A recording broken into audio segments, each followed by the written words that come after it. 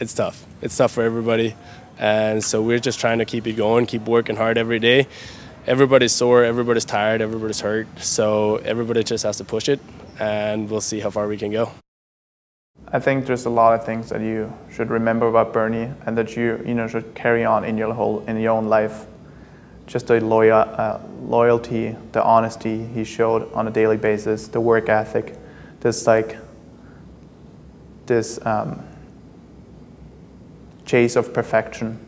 You know, like no nobody's perfect, but he tried so hard to be. That's you know that's something that's really admirable. Um, I also take away the way he lived in the present. Um, he was a guy that you know, while I come in and you know try to complain about certain things that will happen in the future, he he was a guy that brought me back to reality and said like you know, live in the moment. You know, just everything. You know, he was like a mentor. He was a teammate, a really close friend. Uh, we would hang out on the field, off the field. Just a really cool guy to be around. He was my math tutor last year, and just, you know, like, it's pretty unreal that he's gone. He was the kind. he was my best friend. Um, he um, the most kind-hearted, um, determined, self-motivated, unique person I've ever met. In 10 years of our friendship, we probably said 1% of the things said are nice things. We got along on a, on a level that a lot of people thought was disturbing. I remember when we first met Blair West and he just couldn't believe that we're not going to punch each other any second because of the way we treated each other. But it was such this, this blind understanding. So I told him like once, you know what, I don't know why, why we're good friends and I really don't understand it. And he's like, yeah, you know what, I have no idea either. But it just worked out on such a, uh, on a good level. And I think what we both shared is that we were really loyal to each other. We supported each other, although we, we didn't do it with like the, the regular patterns people do it. Um, we got along in so many different ways that um, that was one one thing I really appreciate about him, and that's probably the only reason why I like Bernie. uh, you know, one of the things I have seared into my mind is just him sitting. Uh, on a stool in an office, and it could have been the office down here at uh, uh, Simon Fraser. It could have been the office at the Schmelz, which was our practice facility in Vienna. And he would just sit there and and we would talk for whatever it was, an hour or do film or go in the field, and he'd come in the office and he'd just sit there. And I'd be trying to do work, and I'm like, so what's up? I mean, he'd be just sitting there and be like, oh, nothing, I got nothing to do. I'm like, okay.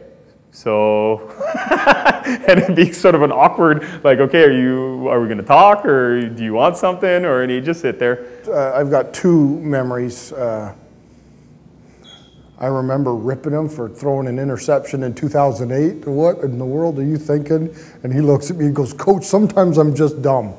But uh, Friday, on, uh, I got to spend a half hour with him in, in a player interview uh, situation. And um, uh,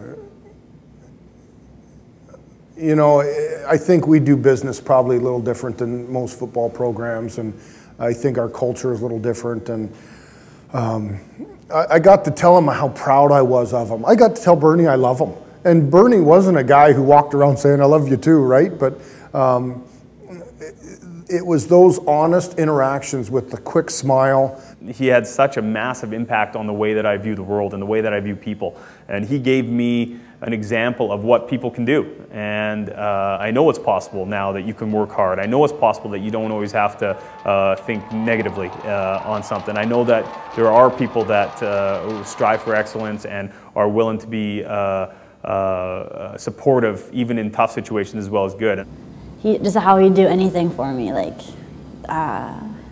he had hurt his shoulder um, in playing football and on Tuesday or last afternoon together. He, uh, I had this cough and I was, cough was, just on the, the couch and I was kind of lying on, on his stomach like we were just watching TV and um, I started coughing and so I didn't want to cough all over him so um, I just kind of rolled on the floor and coughed down there and kind of got comfortable down there and uh, um, he had said after I'd done, I was kind of got comfortable, and um, he said to me, "I'll come back here," and I was like, "Nope, I'm I'm comfy. Like you come here." And um, he said, "Nah, come back here," and I was just like, "Nope, I'm comfy."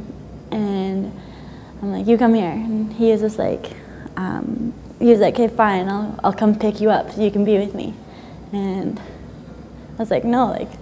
That's stupid. You're gonna hurt your shoulder. Like, you're gonna hurt it even more. And he's like, I don't care. I just want you to be with me. And just like, it didn't matter. Like, he just wanted to be with me. He'd make my life happier. Just anything would make it easier for me or make it better. He would, he would do. It didn't matter what. So, just he was very, is very uh, just selfless. Very just didn't matter. Just,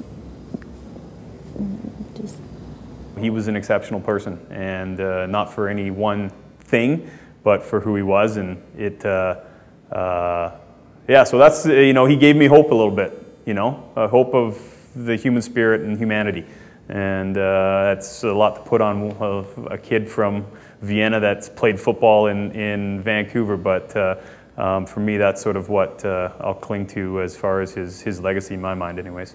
You just saw that, you know, he really enjoyed life. And it's something that, that helped me also through this time is when I talked to his mom, and his mom talked uh, the week before uh, he died, she said he, he sounded so happy with, with what he's doing. He was so happy about the direction that his life is um, targeting that you know that's something that that really supports someone in a tragedy like that. He's taught me so much. He's taught me how to trust, how to love, how to live in the moment. And if you have something to say, you say it. If you want to do something, you do it. And you just you don't leave anything that you want to do behind. You just live each day like it's your last, pretty much.